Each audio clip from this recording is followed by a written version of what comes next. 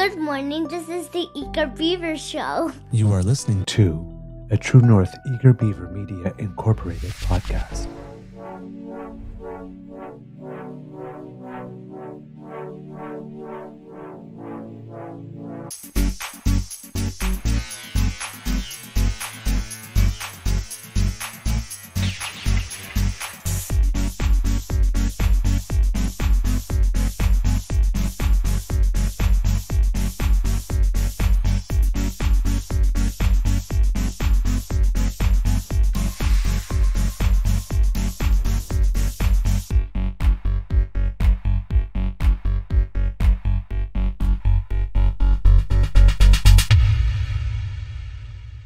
The True North Eager Beaver podcasts are proudly brought to you by our founding sponsors The Misfit Mysteries from Corvid Moon Publishing, your source for science fiction, fantasy, and cozy mysteries featuring a broad diversity of characters. CanadianTarot.com, your uniquely Canadian online eclectic tarot community. And The Peppermaster, hot pepper sauces made from farm fresh ingredients to thrill your taste buds and expand your mind.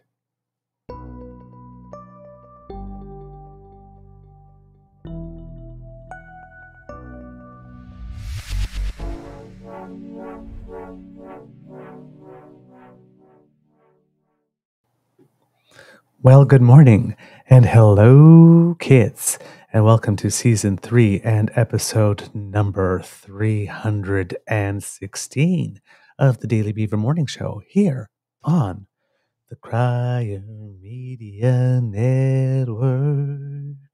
Yeah. Today, recording day is Tuesday, February 13th, 2024, and it's a beautiful day here at the Beaver Lodge. And we have a treat for you today because February is Black History Month, and with us we'll have a guest for a couple of minutes from the community who will uh, who plays a pretty key role in uh, helping us uh, tell some stories and uh, Oh, yeah. document some history. So um, it's going to be a good time. We're going to have a little bit of a delay though because I'm going to own up. we uh, we're dealing with a public relations company uh, with this one for the guest, and um, never occurred to us because normally we find our own guests and we have their email address, and then we just send them the link a couple of uh, minutes before the show starts. But never occurred to us that we're dealing with the company that may not have been open and that we didn't actually have the email address for our guests. So um, we were sending stuff uh, very quickly at the last minute, hoping that someone would see it and trying to think of an alternative for a show in case we did not have our guest. But everything did happen, and we do have our guest, and she will be with us in a few minutes. She is not late. We were. And, and when we say we, we mean you.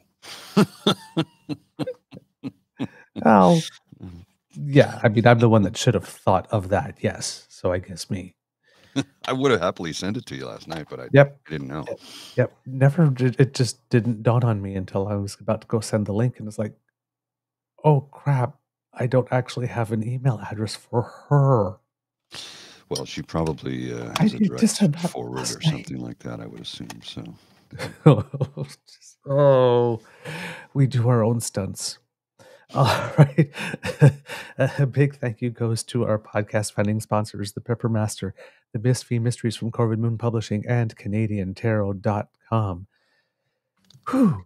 But before we do anything else, Mr. Grizzly, how's your mental health today? Because uh, I've just been on a steep up and then. um, I'm pretty good, actually. I was a little, uh, woke up this morning after a good night's sleep. I slept really well last night for a change. Although when I first woke up, I was in a panic because I thought I had to Oh. get to a final exam. oh, I don't know. I must have been dreaming something. It was like, oh, I got. No, I don't. I don't have any exams. I haven't written an exam in years. So, you know, I take courses all the time, but we have, when you take an online course, you have a test at the end of each module, which is not a final exam. And we all know that panic feeling of I'm late for my final exam of, I don't know, grade 12 history or whatever the case may be. there was a scene in the movie, uh, a, a Val Kilmer film, one of his first films. Uh, I think it was called Top Secret, where he's uh, he's in a dreamlike state and he's and he's running and panicking, trying to get to his class for the last minute. Then he wakes up and he realizes he's being tortured by Nazis, and he's like, "Oh, thank God." he was relieved to be getting whipped because he was strung up and getting whipped. They were trying to torture him for information because he was a spy. And uh, yeah, he was relieved that it was that and not that he was late for his final exam. And every time I think of that scene, I laugh hysterically because I would feel the same way. oh, thank God, I'm only getting tortured. I'm not late for a final exam. I'm sure we've all felt that anxiety. I know you felt it just a few minutes ago. Oh my god. No, my version of that dream is it's opening night for a play, and about Mhm. 30 minutes before the play starts is when I decide I'm going to start studying my lines. And yeah, then that's that's that's uh, that'll that'll knock you for a sideways loop for sure. and of course no one's cooperating me and cooperating with me and then somewhere along the way I can't find my pants to get on the Of stage course, yes, for my yes. entrance in the first place. So now I don't have no I don't have my lines and I have no time to study them because I'm tearing the place apart looking for my pants. Yeah. So and, and you wake up and think, oh my God, thank God it's not real. It's not real. It's only a But- dream. It's only But. I wake up exhausted from Oh yeah, that yeah, yeah, yeah. because I was like, I spent like looking, I'm just like running everywhere, looking everywhere, and worried. And I get up, it's like, oh my god, I don't feel like I slept at all. I still get those, and of course I didn't study. Yeah, no, I, same feeling. Oh my God, I'm late for an exam that I'm totally going to blow because I didn't study for it. Oh no, it's none of this is. It was a dream. Okay, all right, all right. I'm all right. I'm I, I'm okay. well, uh, while we're waiting for our guest, well, waiting, waiting is the wrong word here. So until our guest until- graces us with their presence, Yeah, Let's put it that way. I'm actually Um, very excited to meet uh, to meet our guest. To be honest with you, because I, I am familiar with a fair bit of her work, and uh, Oh, nice. Oh yeah, yeah, yeah. Well, like I just uh, I went online and I'm like, oh yes, I've seen that. I've seen that. I know it. Yeah. And uh, of course, the the, the uh, link you sent me to the Blacks Community mixtapes is kick-ass production, and I have watched a couple of episodes um, last night and again this morning, and I'm like, it's so well done. And Yeah. they're just. Um, now I don't know who the writer, director, producer was for it. I wasn't paying attention to that because I was enraptured by the host, Cara Martin, her um, incredible voice. Hmm. I just want to sit. and She could read the dictionary to me. I love her voice. It just it's so engaging. But th- the way they've put it together, I think it's you know she's she was born in the '90s, so she'd be a millennial, and it's put Hmm. together for millennials in the sense Yeah. that they're condensed bite-sized chunks, if you will. Yep. Because we tend to go long form. Yeah. um, but this is done for for somebody with a shorter attention span so you can get the young people interested in in it and and then somebody like me it's like more give me more i want more i want more because it's so well done well pro- produced and put together and then of course i was seeing you know some people from both my childhood and my adulthood both with uh, mike williams former much music vj host we all remember mike williams and then of course uh, tony young master t and i worked with tony on a, a couple of different occasions we did some parties here in ottawa Nice. that he hosted. Yeah, just a super awesome dude. And uh, of course, Maestro was on, and uh, I met Maestro uh, once or twice, I think, if, if memory serves. Sweetheart of a guy, and the way they just talk about how hip hop, uh, the first hip hop record in Canada was was uh, uh, Mr. Q, was it Mr. Q? yes, and- Mr. Q. Yeah, and and, and it was sort of a response to uh, the Sugar Hill Gang, Rapper's Delight. This was called Ladies Delight, and it was you know really with the beginning of it. But if as far as as, as hip hop goes in Canada, for me, I, the Godfather is Maestro, Maestro Fresh Wes, who is still involved in the community. I mean, he's living in St. John, New Brunswick now, but he's he's involved in film and, and television and radio and music and production and the man has has uh, put his time in and done a lot of work. And of course, they talk about Michie Mee, who I've had a crush on since day one. The very first time I saw Michie, Michie Mee, and she came out, and then when she did the track Raga Death, so it was like death metal and hip hop at the same time, and it worked. I was like, damn. And the Dream Warriors, who, I mean, forget it. I mean, Tribe Called Quest was around at the same time as the Dream Warriors, but the first time I heard my definition, it blew my mind because it Oh, was yeah. like, well, it was a Quincy Jones jazz track, which we all in Canada, if you're of a certain age, knew the song. Yes. It was, uh, um, and it was the a sample of, um, oh, it's a Quincy Jones, and I'm, I'm, oh, the name of the song is escaping me right now. But it was used for the soundtrack for the t- uh, the television game show Definition, and Right. it was also used in the Austin Powers film because it was Mike Myers' way of of sending a postcard home to Canada. He said, "Definition, my definition of a boombastic jazz style," and it was oh darn it, I'm, I'm gonna go nuts trying to think of the name.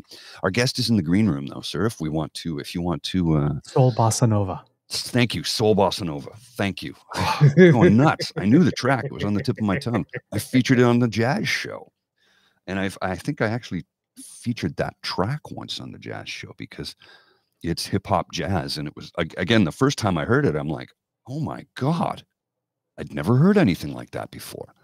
And like I said, it was right around the time Tribe was coming out. So, but I, for me, it was more to celebrate Canadian artists. I mean, you know, as a youth, who do we have as Canadian artists? Gordon Lightfoot, Anne Murray, Neil Young. Mm-hmm. Internationally, that was kind of it at the time. So when I saw young Canadian hip hop artists producing Canadian music in Canada and and selling records, I was like, I just want to promote the hell out of this. I was always pro Canadian artists because you know we live right next door to the largest market in the world when it comes to television, film, entertainment, music, so on and so forth. So anyway, the Rascals, yeah, of course, love the Rascals. Uh, I've worked with Shaw, Shaw a couple of times on some shows. Real sweetheart of a guy. Uh, who else do I work with? Saukrates a couple of times. I can't remember if I worked with Kardinal or, or not. Some shows we did. Our guest is in the green room, so sir, anytime you want to, uh, you want to uh, present our guest, and I'll bring her on in. All right. Get some Cubs. Very, very, very, very, very, very excited about this. Our guest is a renowned Canadian writer, producer, director, and visionary whose recent film and television productions include two Canadian Screen Award winning documentaries, Being Black in Toronto and Mr. Jane and Finch. For CBC, the two hour CTV documentary special Cool Black North and the short drama Promise Me, which has had over 20 festival screenings and six festival wins, including two Golden Sheaves at the 2021 Yorkton Film Festival. Uh, she's a recipient of the Women in Film Television Toronto prestigious Crystal Mentorship Award. She has uh, co founded something called the OYA Media Group and was voted one of 2021's RBC Canadian Women Entrepreneurs, one to watch. She is the director, the co creator, and one of the writers of a series that uh, Mr. Grizzly was talking about called Black Community Mixtapes, which recently won an Anthem Award, silver medal at the Anthem straight. Awards. Yes. So, kits and cubs, please, please, please, please, please put your paws up and give a big round of applause for Alison Duke. Hello. Morning. Good Welcome to the. Beaver Lodge. Oh, I'm just so thrilled to be here. I, I'm leaving for Berlin today, so my day got a little bit shift, or my night got a little shifted, packing and all. So uh, Oh, thank you for having me. Oh, Well, my, thanks for no, joining us. No, thank you I'm- for joining us. And uh, we uh, had some apologies too. We owned up earlier on the show. We're telling people you're not late. We we're new here and we do all our own stunts. So this is the first time that we've dealt with an actual production company. We normally just had people's email addresses directly, and we just send them the link before. And then it just dawned on me, it's like, are they going to even be open? Like, oh no, I. I should have sent it last night. So uh, no we're very, very glad that you were actually everything was able to work. awesome. Um, we uh, always start our show by uh, because I asked my my co-host Mr. Grizzly uh, how his mental health is doing today every day. So how is your mental health doing today? well, I just need to breathe a bit more today, I feel, because I have a lot going on. Mhm. And um, I have a flight that's at eight o'clock at tonight, not, not this morning. Oh, good thing. Um, and um, you know i'm going to the european european film market and so i just need to just relax you know just breathe and you know not not try to do too much I, I, I You're on the right understand show. That, yes. we're, we're all about relax. Just Yeah. just relax. I have a whole YouTube channel about just relax. Yeah, I love your voice too, by the way. Oh, thank you very much. Making me relax. That's yeah. that's the general idea. That's what the uh, the, the YouTube channel is. It's ASMR mental health chat where I just Mm. sit and talk like this so you can find some peace. oh well, we'll wish you absolutely uh, an uneventful trip. um, I've been watching Black Community mixtapes. I, I'm actually on. Uh, there was five episodes, and I'm actually Yes. midway through the fifth one. So I've I've watched them. Um, it's so good. It's so well done. It is really so well done. I can well see done. why you won. Yeah. First of all, uh, maybe um, i- i- if you could tell the our audience what it, what your inspiration was behind it. Well, you know, I've been making films about Black history for a long time. You know, I started out, I, I loved your conversation about all these people, rascals and all that, because I started out producing music videos. In fact, you know, my production company back then, Rage Film House, we produced Northern Touch. We worked with a lot of these people. My brother is an, a, rapper. You know, um, his, his name is Spade. His group was called Citizen Kane you know and and so i was in this world for a long time and you know i knew uh, tony uh, master t and michael williams and i just you know it just came from this whole hip hop revisionist thing that we're go- we were going through for a bit where people were saying you know drake he's great he's you know ama- amazing artist businessman but you know a lot of people were thinking that oh hip hop started with drake canadian hip hop started with with Drake. And I was just like, "Hmm."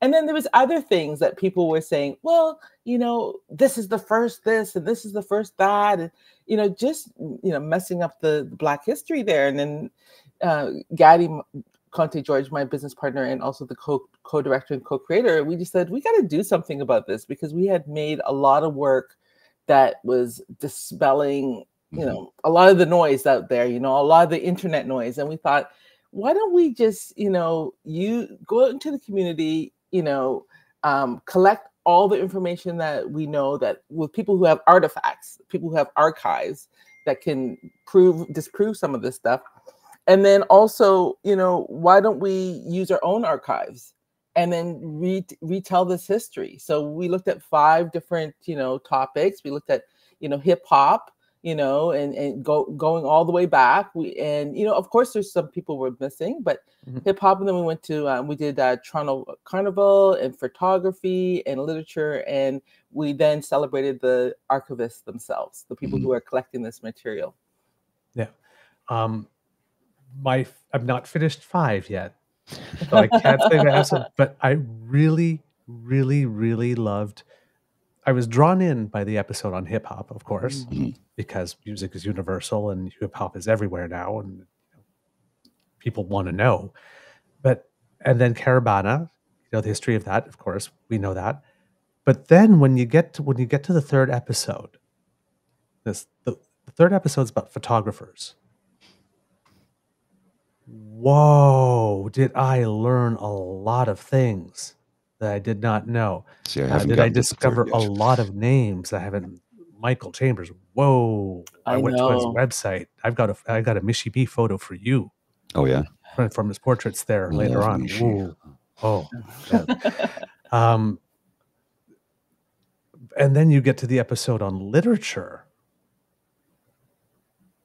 and again, s- that poet talking. Uh, I, I'm sorry, I'm geeking uh, out. Greg- Greg, um, Matthew Greg Frank- Yes. Um, oh yeah, Greg uh, Frank Frankson. Frankson. Yeah, he's a buddy of mine actually. Oh really? Yeah, I've Oh, known Greg for like 20 years. Yeah, we're oh, good friends. yeah. Okay, we have It's- to get him on on, the show to re- read his Everybody in Canada amazing. knows everybody, right?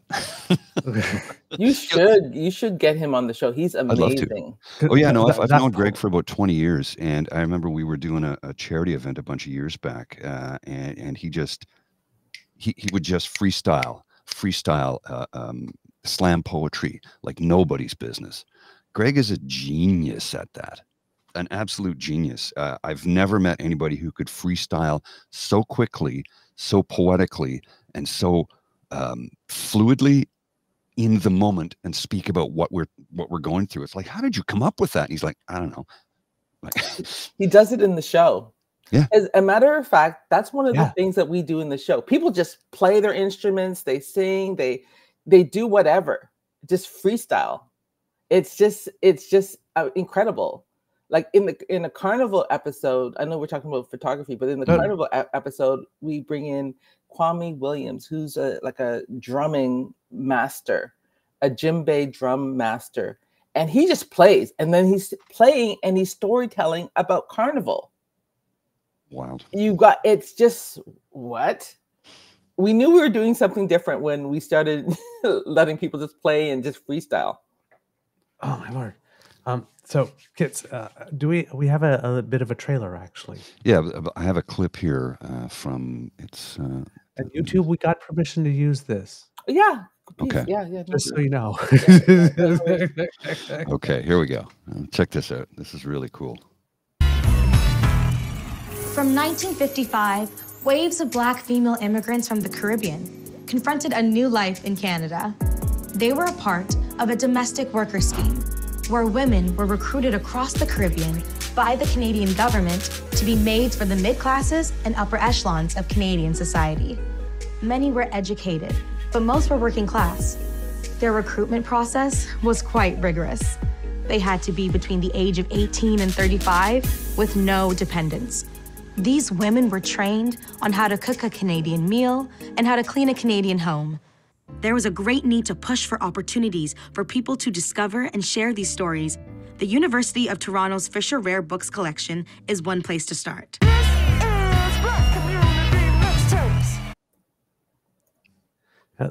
This is what I loved about the show because while I'm getting my Maestro Fresh Wes, while I'm getting my Choclair, while I am, you know, getting Caribana, I'm getting the 1955 domestic servant program. hmm Yeah, Just that, that, that little truth bomb dropped right in there.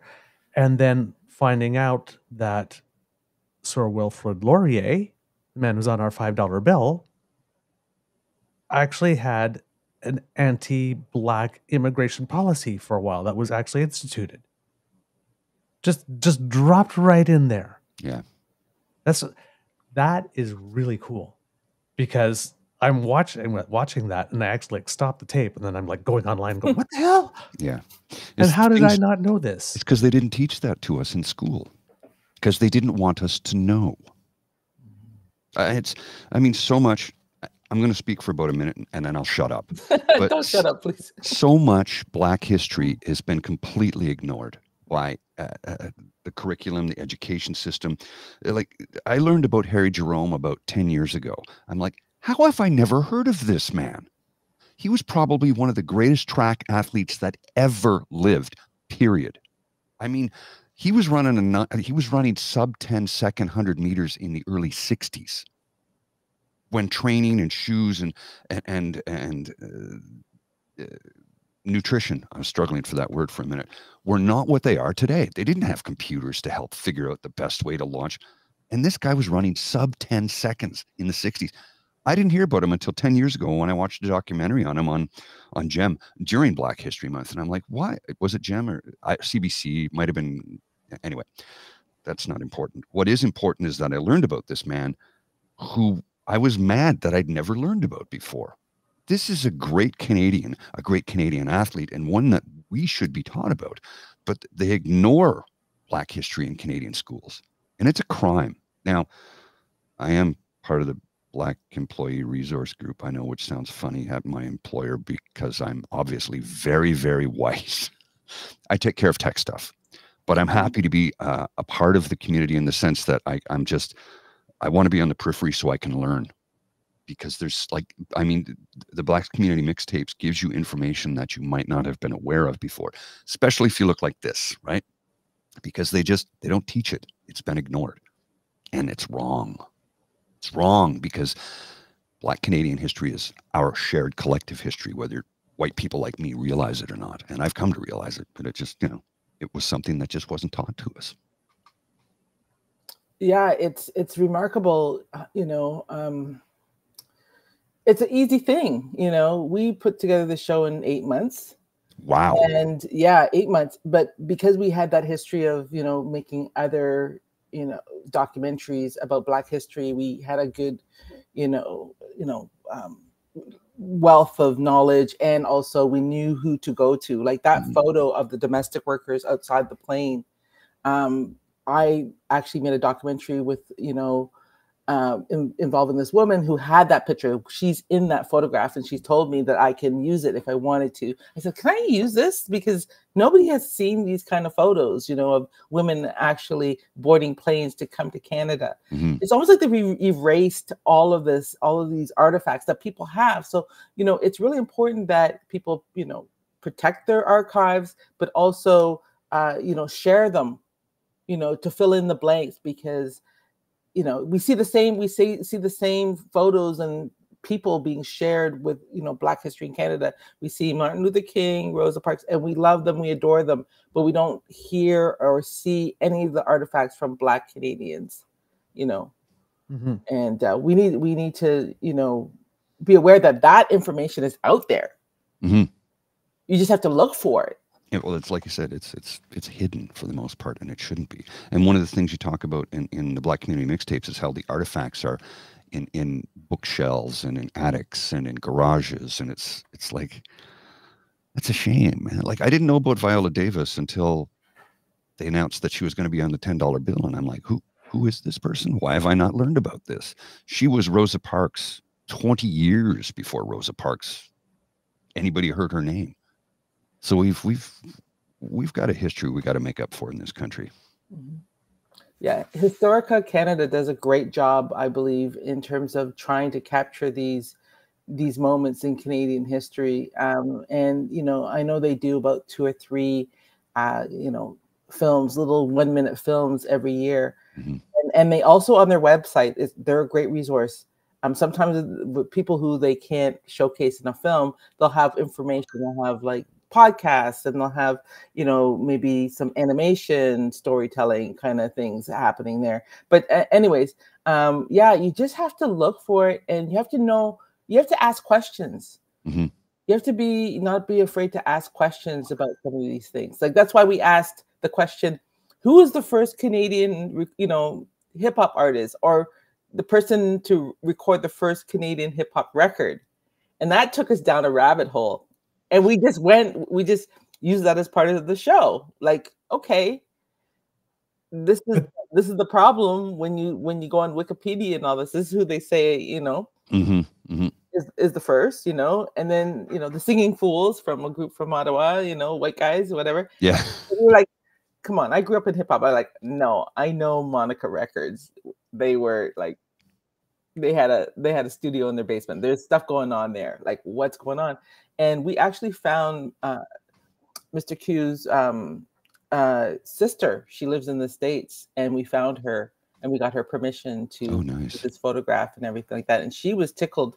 She was like so happy because nobody had acknowledged her brother, and mm. he's yeah, and um, she just loved the fact that we were able to do that. I got to correct myself. Thank you, Miss Sh- Miss Shadika. It's Viola Desmond, not Davis. Viola Davis is the EGOT, the EGOT winning, uh, award winning actor, filmmaker, director, producer, writer, singer. Yeah, sorry, right. my apologies. I think a lot of people make that mistake. Is it well, so? Desmond Davis. It's they're both yeah. D's, yeah. the same first name. So yeah. yeah. Although you know, I I'd be perfectly happy to be compared to Viola Davis or Desmond. right, both very successful. Mm-hmm. Um, I wanted to ask because a lot of this history is in attics and in bookshelves and whatnot, and the effort to uh, archiving it correctly and creating some pools uh, that people could go to to do research of their own is more recent than it is for other communities. Because I mean, like I I was learning that there isn't an actual home for Black archives yet, Black History archives yet. Yes. Whereas the gay community already does have one. We've had one for a long time. Um, why is it important for people to be going through what might be in their trunks and their attics, their bookcases, and maybe bringing it to attention? Great question. Um, you know, there are a couple organizations that are doing the work, like Black Historical Society of Ontario, and then there's this museum in um, uh, uh, in Amherstburg who's been around for a long time because of the Black community there in, in Chatham. It is important for us to do this because, you know, a lot of the times this information doesn't get stored correctly. So we've come across people with with Super 8 film and whatnot that's been it has mold on it mm. or um, you know important manuscripts gets you know it's deteriorated and you know things get lost you know with people moving with people you know passing away uh, certain people might think not think that this information is important. So you know they chuck it and then with everything that's a that's a piece of history that's gone. Mm-hmm. because nobody has seen it. It's very true. So we need to create space where you know archives can be collected and and um, like like you said treated properly and stored properly and cataloged mm-hmm. so people can you know use search words proper search words to to find it and that's why we had an episode on the archivists at the end just celebrating them and how cool it is like all the different people you know in that episode trying to find different like unique ways to showcase you know you know their findings their own archives. And uh and that was beautiful like a lot of them have been able to take advantage of it uh, financially like you can put together your own traveling you know mm-hmm. show with your archives. People are interested are that interested in in this material.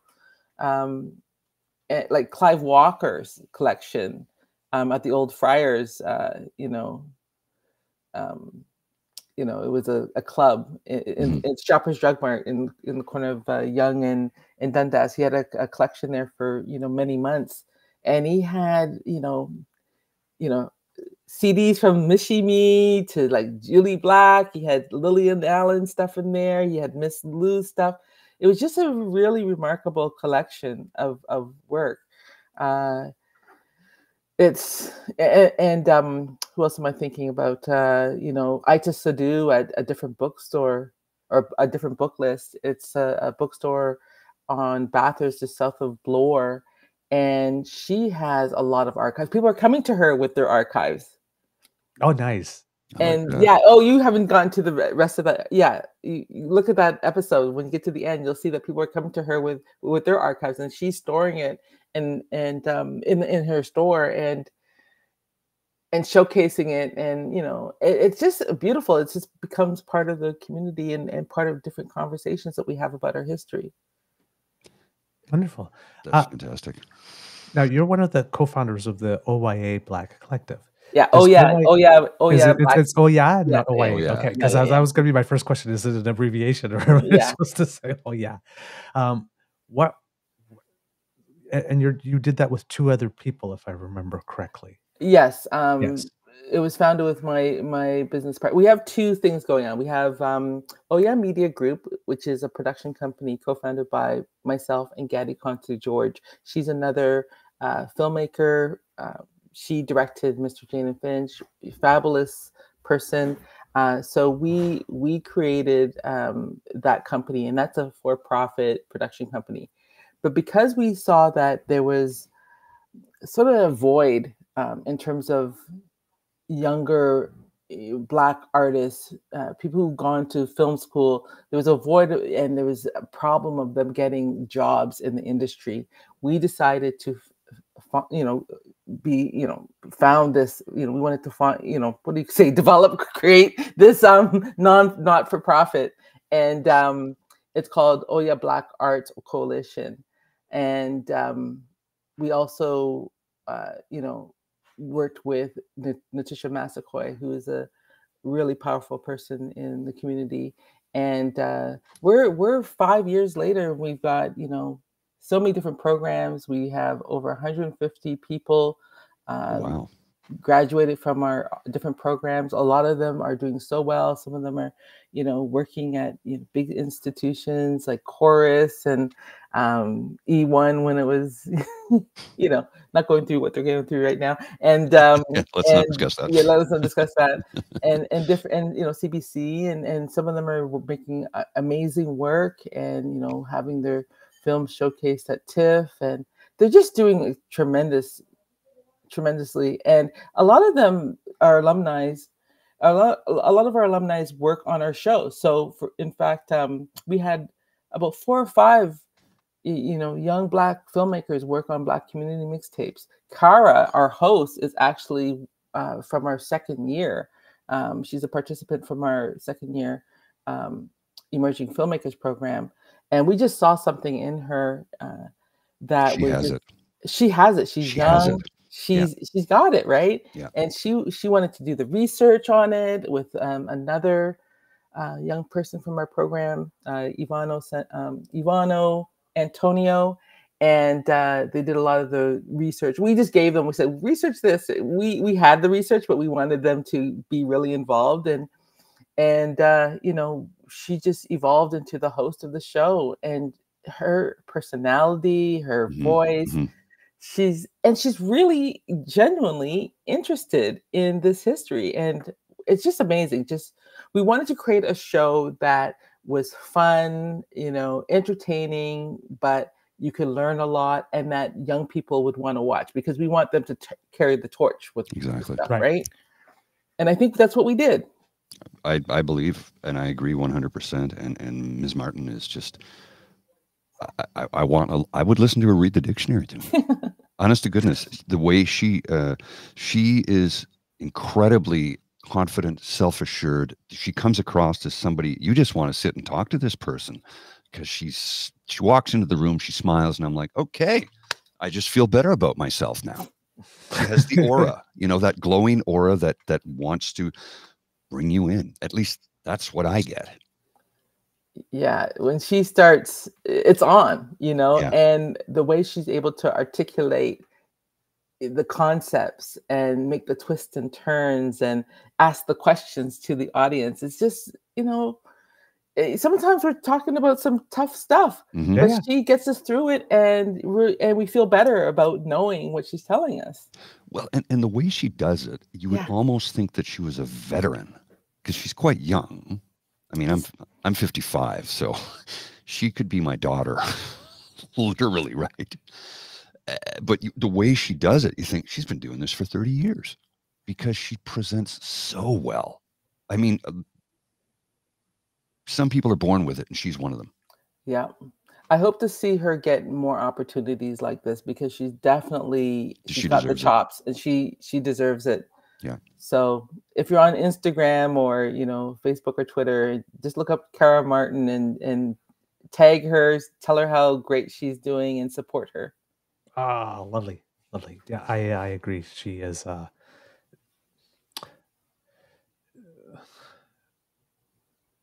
I'm just as interested as what's going to happen when she comes on, as what's going on in the content, right? Because normally, okay, here's the host again. Like, okay, now give me the good stuff. But I'm just as interested when I watch the show, which is a lot, a lot of fun.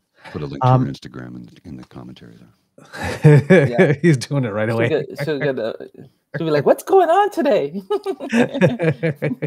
um, so you, you founded this studio to help uh, emerging Black voices Mhm, get some opportunities, mhm. and um, from the program now that you're five years in, where do you see? You've learned some things certainly along the way, this, and you what you probably have like some ideas of where you can grow to next as a result of that. So I was like, what's sort of the toughest lesson that you learned and what do you think is the biggest opportunity in front of you Yeah, that's a great question. Mm. And it, as a matter of fact, we're going through um, strategic planning um, about our organization and what we offer, what we're doing. Mhm. Uh, it's a lot of energy. It's a it's really um, you know takes a lot of time. You you have to be open to the fact that you're not doing everything perfectly.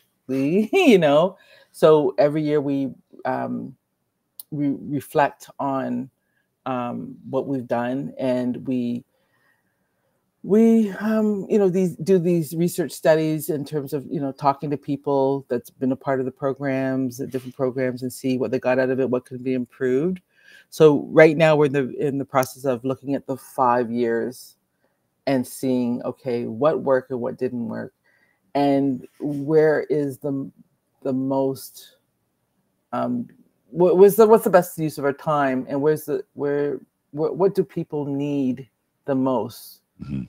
Like the, we're doing like a value proposition um, and i think we've done a great job at you know training young people uh, you know the soft and the hard skills of how it is to be in this industry because if you notice a lot of young people they know how to make films and Oh yeah. create working content they're like they're brilliant they're like really really good Mhm. um, but it's sometimes it's the soft skills um, Hmm. the soft skills is like you know you know how how to be in this industry you know you have to be yourself obviously but then there's just this way of you know you know the hierarchy the you know you know how you have to show up on time how you have to um, you know finish what you started you know how you have to be respectful it's just a, this is a different kind of weird and it, way of being but it, and it might be really foreign to a lot of people not those Mhm. things but just how it is to be in the film industry and um, sometimes you think you make one thing and then it's, you're going to be a star and then you realize oh it doesn't happen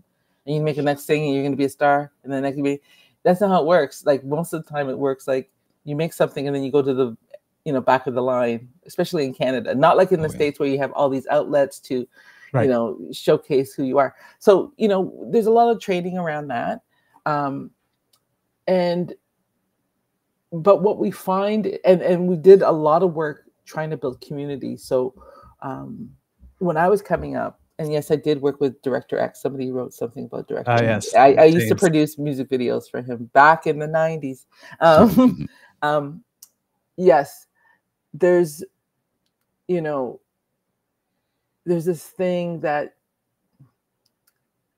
you have to uh, when i was growing up in this industry like finding my chops and whatnot there's this thing that happens where you're a black person or you're a racialized person and people try to tell you not to work with each other.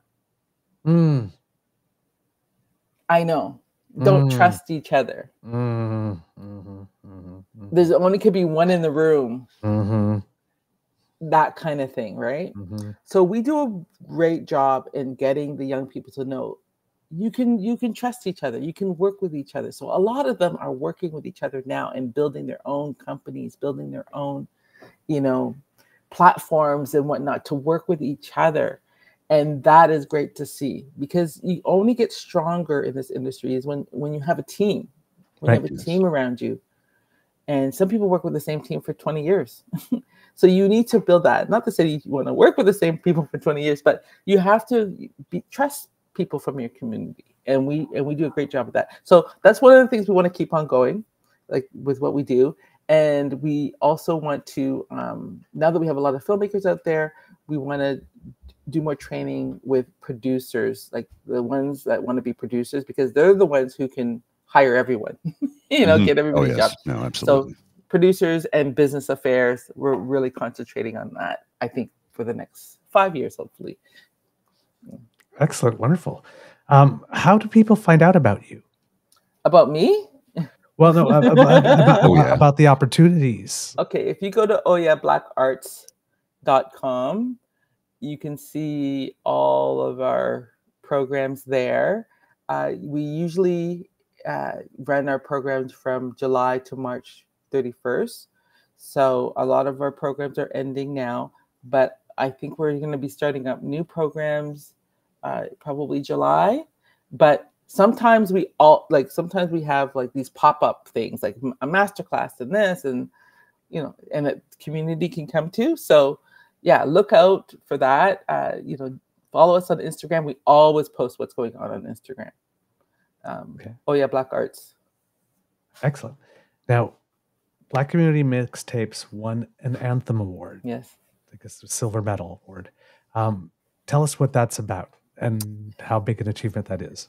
in New York. Yeah, that's right. Um, the Anthem Awards is a really cool awards um, in New York City, and they had this category of awards for people who were doing commun- things for the community, and um, they had a category for film and television, and so we applied, but we didn't know that people had to vote Oh, that people had to vote. And so we're like, huh? So a week later, people were voting. And then we're like, oh, let's just post that we're doing this and all that. And then people voted for us. People voted for us. And, uh, you know, and uh, we were selected, you know, silver, you know, silver at the Anthem Awards. And it's from New York.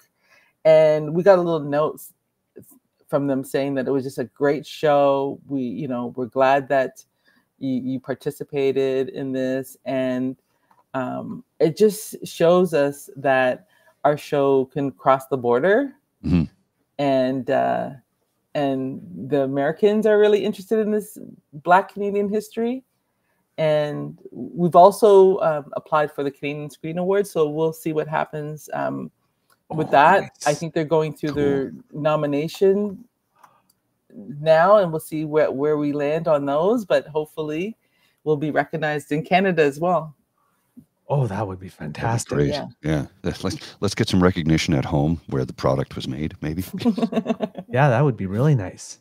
What That was one be of the one of the things that was said? Uh, I can't remember if it was Tony or if it was Michael Williams who said, you know, young black and hip hop artists in, in in in the early days, which is, you know, only the mid '80s, if you will, couldn't get anybody to even look at them. He said, and it was similar to what Neil Young and Gordon Lightfoot and Joni Mitchell had to do. They Yeah. had to leave the country to get any recognition because we're terrible in Canada. Well, we used to be really terrible in Canada about recognizing Canadian artists. We're much better at it now, and and I think much music has a lot to do with that. With you know, the the next generations that came up were like, let's prop up, let's do, let's. But it'd be nice to get some recognition at home. Yeah, it's a strange thing. Yeah, I, I don't know if it's just you know that we don't like to celebrate achievements in in Canada. We do it with hockey Yes. and and basketball now, Yes. right? Yeah. Yeah. Um, I don't even think we do it that much with our Olympians. You know, No. like it's No, just like okay, you won something. Okay, go sit over there. Um, but yes, you know, Master T and and uh, Michael Williams and and people like Ivan Berry. I see somebody, you know, um, they were really instrumental in showcasing Black talent. Uh, and then there was all those people in community, and we're just talking about the hip hop episode, but community radio. Mhm. You know, Mhm. uh, there's two community radio stations here uh, in Canada that played hip hop all the time. And um, you know, you had DJ DTS and Motion on the Master Plan show, and John Bronsky, and um, and then and Power, um, and they became the the longest running hip hop show in Canada, uh, and that was on eighty nine point five, and uh, and then you had uh, people. Um, I think that was out of York. I can't. Yeah, Mhm. York University, and then there was other, another radio show uh, called um, CIUT 90, 89. Is that 89.5? No, what was it? CIUT. Which one was? University of Toronto, right? Yeah, yeah. Isn't? Oh, no, Yeah. Ryerson. Ryerson. Ryerson. Oh, okay. Yeah, yeah, yeah. CIUT, um, you know, uh, DJ X and Ron Nelson on Fantastic Voyage, you know, and every week they would play amazing hip hop. And that show would travel around the world, Oh, yeah, really. yeah. Like people would be coming in, you know, from around, you know, the world to be on that show as guest and whatnot. So people were doing it on their own as well as, you know, we've got you know much music doing it there were people in the community that were doing that and they have archives too mm-hmm. Yeah. Yeah, indeed. Yeah. that you know it's it's it's the the homemade do it yourself thing which is what really built the industry in this country because i mean you know prior to realistically, prior to to Wes Williams, Maestro Fresh Wes, and Let Yeah. Your Backbone Slide, nobody in Canada paid attention, like at all. And I remember, I think was it his second or third album, and I can't remember correctly, but the title of the record was "This Kid Can't Be from Canada," because he was he was recording in New York City at the time, right? and uh, he came back home because he said he didn't uh, if if i remember in an interview he was saying he just didn't feel right about being there Hmm. He wanted to be home he wanted to be in toronto he wanted to work with the crew that he knew and i'm like i i, I understand that you know and let's face it new york city is as i you've been i'm sure a number of times it's a whole different ocean to swim in It's tough. It's the, the pace of it. You know, Mm. I'm a Toronto girl. I was born and raised in Toronto. I want this is my home. I want Mm-hmm. to celebrate my life, the people that I know, my culture. And New York, you know, I love New York um, for the energy, but Mhm. it's tough. It's a Oh, yeah. real like people are not, you know, people are just like so focused on what they're doing and there's not a lot of room for like oh you're over there you need some help or over Yeah. there you know no you know and and i guess it's just a, a system of survival because there's so many people there and the rent's Mm. so high Oh, you yes. know um the rent is too damn high the rent is Everybody is literally working like the rent is due. Yeah. It's it's like yeah exactly. Like don't bother me. I have to pay my rent you know? Um this five seconds that you stopped me to ask for directions you know i could be working. That's like you know that's money. Um Yeah. yeah and but yeah there's so many people like Ma- patrick nichols and his photography you know um of hip hop back in the day and we showcased that in the hip hop episode Mhm. you know, Dream Warriors, Saukrates, you know, like all these folks, they have they have the goods that's you know telling us what Canadian history is about, what Black Canadian hip hop history is about, and I think that's remarkable. We Well, need to celebrate these people, and, oh and absolutely yeah, you should get Patrick on. Yes, please. yes yes, please. Like if you could make that happen in any way, sure. We would love to have him on. I'm still kind of uh, g- feeling goosebumps from you talking about Northern Touch because the first time I heard that track, I lost my mind. I'm like, damn. And when they were when they were at the Junos a couple of years ago, because it was the 20, 20th or 25th anniversary, I can't even remember now. They brought out and they were told not to rap, and they did it anyway. And I was like, damn straight, you got to get out there and sing a couple of bars from that track. That is the track that I think changed the landscape in Canada for hip oh, hop yeah. artists. oh, definitely, it was It- so huge. What did, what do you mean they told them not to rap? Oh yeah. Isn't Yeah, that the were- whole they were like just out to present an award and they were like okay you don't have time to perform and i think they just kind of said yeah we're going to anyway i mean come on and they said how about a couple of bars and they did it and the audience went nuts because come on that was the biggest song ever Yeah. the biggest track ever to come out of canada and i mean i still listen to it every couple of weeks i'll just because it, it's just such a pick me up you know I- Well, let me see if I have it. What it what? Ah. nice much music video award yes. 1998 Yes. I remember. I actually watched that s- Director. that at home when that happened. Wow. Yeah. Oh yeah, I Um, watched. I You watched the show? I, I live when it happened. I was addicted to much music. I so wanted to be a VJ.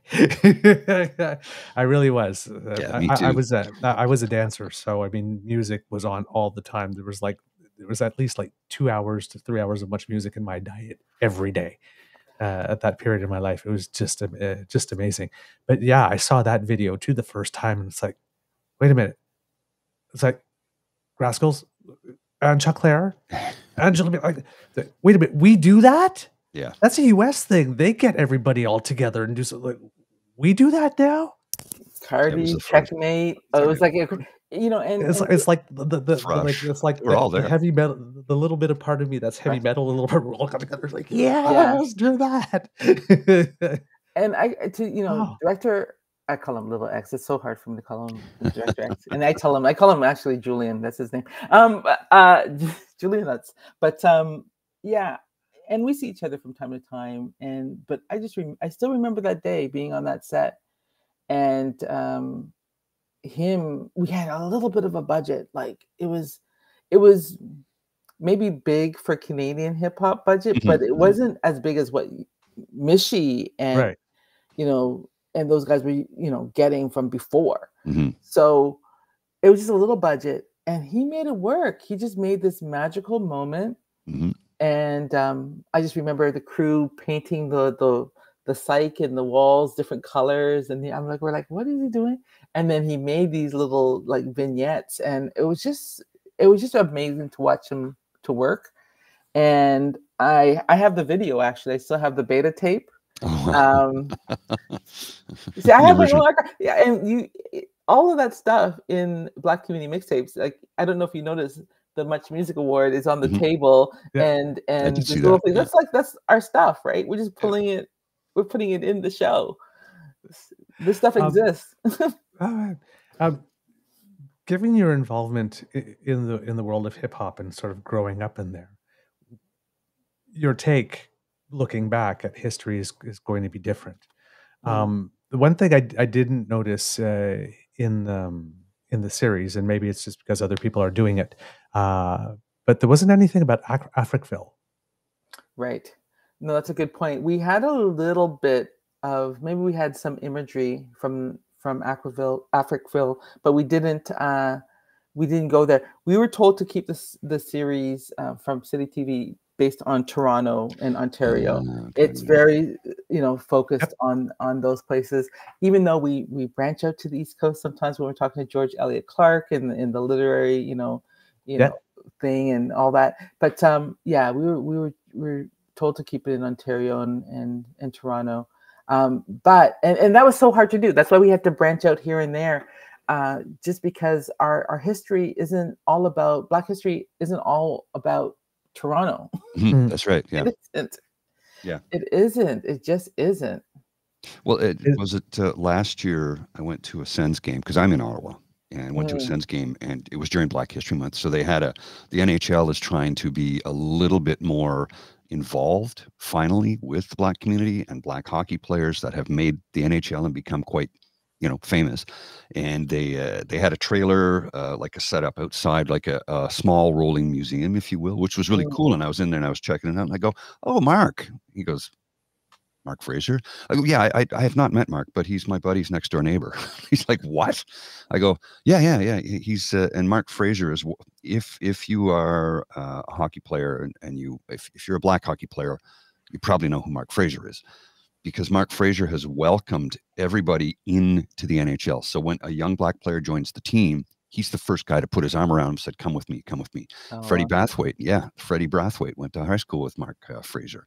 I, I used I've played road hockey with Fred Brathwaite. I'm old, but I, I remember when Fred made the NHL, we were all celebrating. You know, even dumb white guys like me, because it was somebody from our community, our neighborhood. That, that hey, he made it. You know, way to go. But for members of the black community, that was even a, a, a bigger step up. You know, to make the NHL the show, man. It's like, come on, let's let's not kid ourselves. It's uh, they've got a lot of work to do when it comes to messaging and and uh, curbing uh, the racist ways that are within the league, embedded within it. Uh, Hmm. Look, you can't deny it; it's there. Mhm. I know, I've seen it. You know, as a, as a, as a goaltender, Freddie was Wow. so much better than me. But I've seen it; it's there, and the NHL needs to do a lot more work to change the messaging. And and you know, they they they will put up uh, things like racism is not acceptable. I'm like, yeah, but you're not really doing much about it. You're, it's just you're sloganeering. Yeah, it's true. Um, yeah, kids want to play hockey. Yeah. that's the bottom line, right? Yeah. doesn't Just let the matter kids the play. race. Let let them play, and I'm I'm sure you're gonna get damn good players because you're just letting them play. Absolutely. Ah, Alison, um, just before we go, sometimes when we have a guest, we uh, like to give them some uh, little fun rapid fire questions to Oh get my to know them a little bit. Uh, Coffee, tea, or hot chocolate? Oh, coffee is my true love, but I don't drink it anymore. Oh no! Oh, why not? Oh, I just drank too much. Oh, yeah, I have some issues. I understand. All right. uh, vanilla or strawberry? Strawberry. Mm. Yes. um, soccer or tennis? Soccer. Soccer. All right. Hmm. Reggae or blues? Ooh, Yeah, that's a tough one. Because they both make you feel something. Right. I would say reggae, Mm. and I have a story for that. But Okay. um, because my next film is Bam Bam, the story of Sister Nancy. Um, it's the most, she's the most sampled reggae vocalist of all time. She made a legendary album um, called the One Two album, which the song, the iconic song Bam Bam came out of. And so um, that's that's for Crave, and and we'll be launching that soon this year. Nice. Yeah. Very nice. Well, you say And- reggae, and I put a link in the chat earlier to Reggae in the Fields, the longest running. Uh, it's so hosted by Junior Smith at CKCU in here, here in Ottawa. 45 years on the air since 1976. Oh wow. Yeah. Nice. And is there a possibility of a black community mixtapes too? Well, uh, we're not going to be renewed. It was a limited Oh. series. We knew that. We, we, it was one of those things where we had developed it, um, and um, you know, City TV wanted it. They said, "Hey, we can do we can do this for like one season," and so um, yeah. But we are going to keep the idea. It's our idea. It's like our Right. IP. Mhm. So we're we're just gonna, you know, maybe every couple of years we come up with some more. You know, you never know. You never know. Yeah. Well, that means that n- neither Crave or Netflix or whatnot could take it up then. Yeah, yeah, yeah. I get uh, maybe other broadcasters can uh, you know keep it going. They do a they do a season every year, like That'd be different great. ones. Yeah. That would be great. That would be really great because it, it- it's really a good show and has a great value. Um, thank you so much for joining us. Absolutely. Thank you for your time. We really do Thank you appreciate it. Thank you Right. so much. You guys are great, and Oh, uh, Thanks. I, I'm sorry about the tardiness.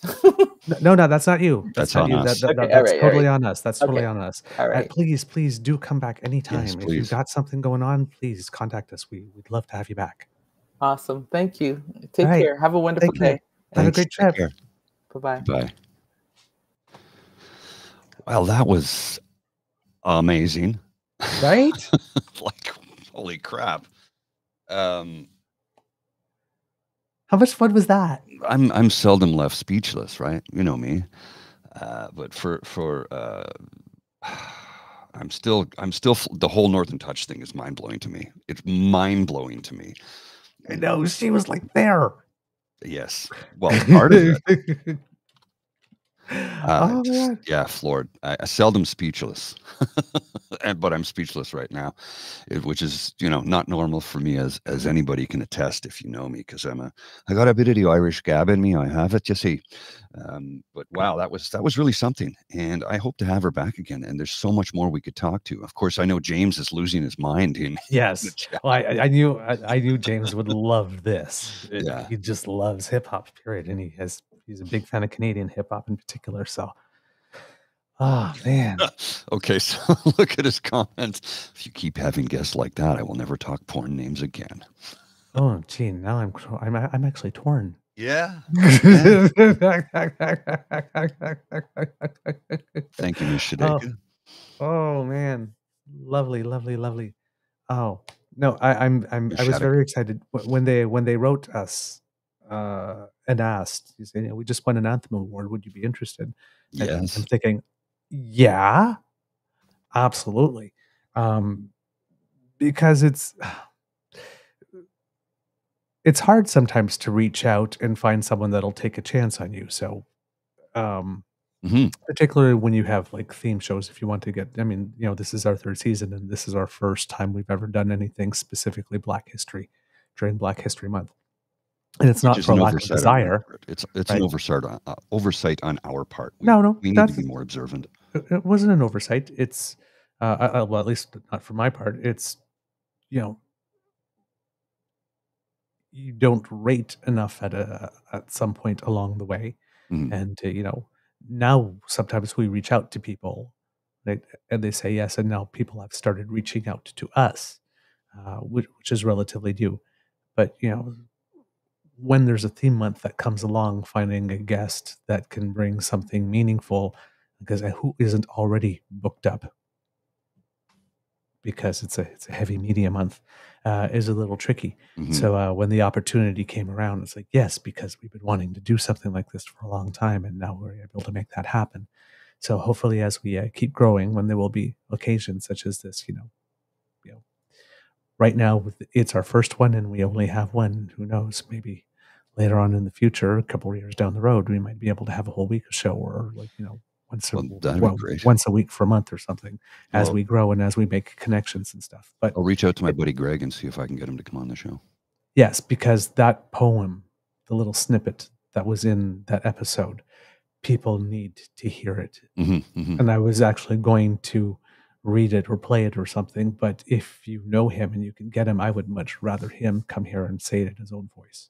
Yeah, I'll see. I'll reach out to him today and see if he'd be willing to come on the show. Oh, that would be Um, fantastic. I don't know if he can. We'll work with you know as we work with Yes. his schedule. So if if he can't do a live, if he can do like and we can record something, that'd be great. So yeah, Yeah. All right.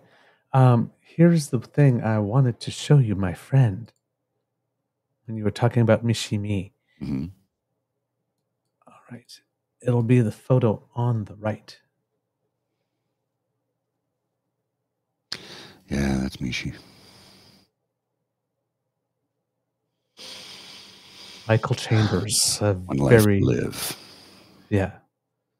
This is the photography of Michael Chambers. Uh, he's also featured uh, during uh, the show um, as uh, someone that we should know about in the in the section about photographers. Um, he has some pretty provocative work uh, and some beautiful work as well. And uh, I'm hoping to uh, get an email off to him to actually ask him as well if he would like to to come about the show to talk about his work. So I won't show too much of his photography now, but if you are curious, uh, yes, his uh, website is michaelchambersphotography.com, and uh, you can see a lot of stuff there. Uh, well worth your time. He does really good work. Mr. Grizzly, do we have a show? We do indeed, sir. All right. Uh, there's a couple of things that I'm dying politically to say, but I want to keep this show about this. Yes, uh, we'll- talk but- about that tomorrow. But kids, do not think I have not noticed them No, we we just because I have. don't worry. We we'll we'll get into the whole um, mouthpiece thing from Yep. yesterday tomorrow. Yep, yep, yep. so, kits and cubs, but, but this was great on its own, so I, I, I don't want to taint it with anything else. No. Uh, kits and cubs, that's the end of this episode of the Daily Beaver Morning Show here on the Crier Media Network. We hope that you love listening to us because we love making this for you. Of course, sharing is caring, so please tell your peeps and poops all about us, particularly this episode, because I think this is one of the ones we're going to be proud of Very much so. um, of having done. Uh, I I I'm at loss for words all of a sudden. um, if you do not, I'm really excited. Yeah, no. Um, if uh, you do not want to miss an episode, you do not have to. You just uh, scan that QR code that's right under my chin, and thanks to the Ray Girl, that will bring you to our pod page. That's podpage.com slash the true north eager beaver, lowercase letters with a hyphen between each one of those words. And that way, when you subscribe, you do not have to miss anything. When we have something fresh off the bandwidth, it will come directly to you, except for our podcasts, which we remind you are exclusively on our True North Eager Beaver Media site, which is where you can also go to support us by clicking like, share, and subscribe. Make like Kit Elaine, go there today. And we very much appreciate that as well. We just had a podcast last Saturday, so there's one fresh out there for you. And if you'd like to support us in other ways, please do by going to the Emergency Hydration Fund here at the Beaver Lodge. The QR code that's by Mr. Grizzly's head will take you right there, or if you're listening, go to coffee, ko-fi.com slash eagerbeaver, as two more of you did yesterday. Unfortunately, I can't read the comments out uh, at the moment, but uh, thank you so, so very much. We will give you proper credit uh, in a future show, but we have noticed they come in and we are very, very grateful. Because democracy is something that you do. Write your MPs, write your MPPs, demands for some better journalism. Maybe ask uh, what it is that they're doing to promote and uh, help the Black community in their region. Right? Black entrepreneurship, needs some help. Black artists need some help. I've got Anything some, that could be done to preserve some Black history. Good stuff too.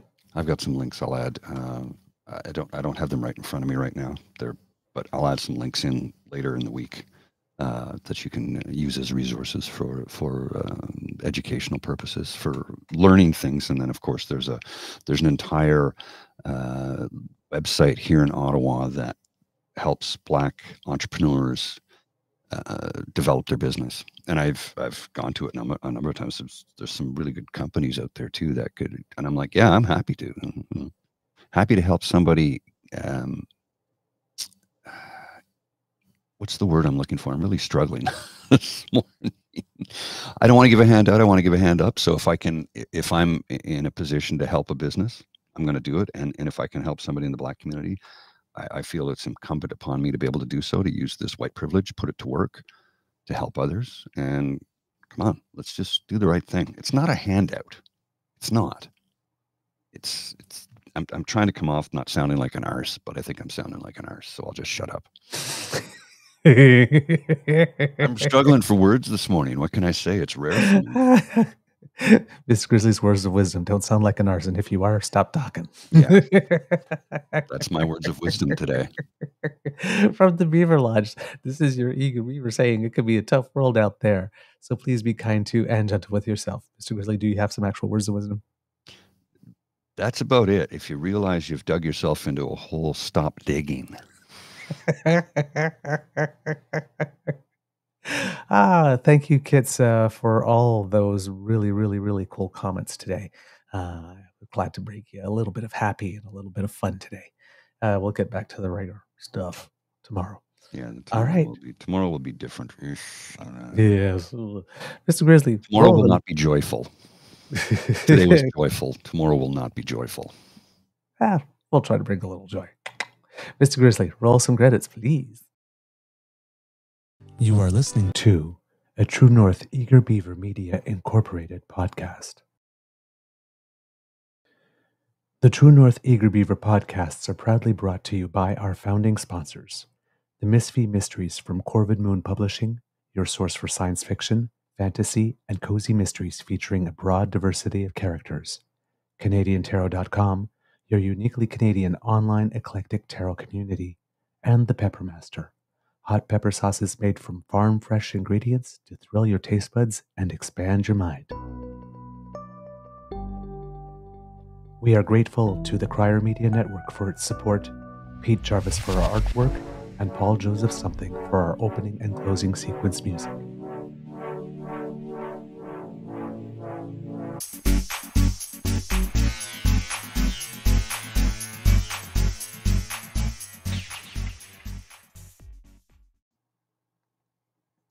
Right.